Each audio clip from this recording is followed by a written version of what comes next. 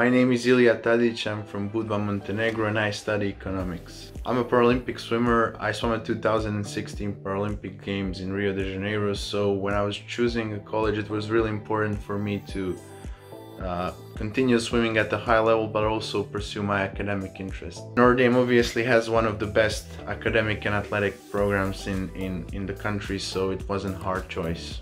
My favorite class so far was uh, microeconomics. I really enjoyed lectures by Professor Kirk Doran and I'm also looking forward taking energy studies this semester. The thing that I love most about Notre Dame community is probably trustworthiness. Uh, I love the fact that, that people here, I mean, leave their door open all the time and you can leave your laptop in the study room and not, not worry about it. That's probably one of the things that I love the most about Notre Dame community. My favorite Notre Dame memory is probably my first football game.